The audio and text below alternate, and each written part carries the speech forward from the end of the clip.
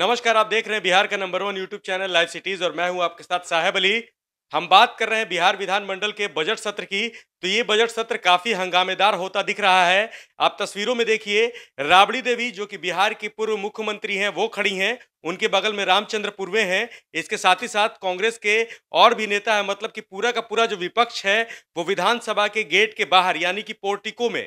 खड़ा है और वहाँ पर लगातार नारेबाजी हो हो रही है। आप तस्वीरों में साफ़ साफ़ देख सकते हैं और सुन भी सकते हैं कि ये सरकार नहीं चलेगी गोलीबारी की सरकार को हटाया जाए। इस तरह की नारेबाजी विधानसभा में होती रही। आप पहले तस्वीरों को देखिए और सुनिए कि क्या कह रहे हैं विपक्ष के नेता।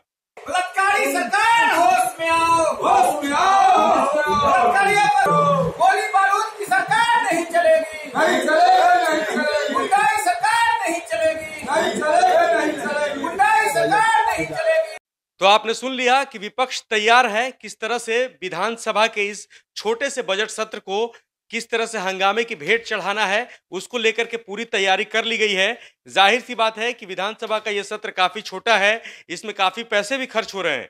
लेकिन विपक्ष अड़ा है नीतीश सरकार के इस्तीफे पर, विपक्ष अड़ा है नीतीश कुमार के इस्तीफे पर। विपक्ष कह रहा है कि नीतीश कुमार को अब मुख्यमंत्री की गद्दी छोड़नी चाहिए क्योंकि उनसे सरकार नहीं संभल रही है। बिहार में बढ़ रहे अपराध को लेकर के इस तरह के और भी कई मुद्दे हैं जिसे सदन में उठाने का काम विपक्ष कर रहा है। फ़िलहाल तेजस्वी यादव भी रणनीति बनाने में जुटे हुए हैं। विधायकों की मीटिंग बुलाई है।